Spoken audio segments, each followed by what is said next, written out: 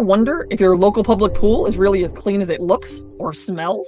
Some of the germs that are swimming right along beside you might surprise you, and that strong chlorine smell, not necessarily a good thing. I'm Dr. Lisa Cuchara, professor of biomedical sciences at Quinnipiac University. And as an immunologist, I study how germs spread in public places. Now, swimming is a great way to beat the summer heat, but it's not without its risks. A 2023 CDC report tracked over 200 pool related outbreaks affecting over 3,600 people. These included ear, skin, respiratory, and gastrointestinal infections. And even with chlorine, not all germs are killed instantly or at all. For example, the cryptosporidium can actually survive in chlorine treated water for up to 10 days. It causes watery diarrhea, and it is spread when contaminated fecal matter enters the pool and is swallowed. Even a tiny amount invisible to the naked eye is enough to infect dozens of people. Another common offender is Pseudomonas aeruginosa, which causes hot tub rash and swimmer's ear. Here's something that most people get wrong. A strong chlorine smell does not necessarily mean the pool is clean. In fact, that smell comes from chloramine, which are chemical byproducts formed when chlorine mixes with substances such as human sweat and urine. A truly clean pool shouldn't have much odor at all. Want a safer pool experience?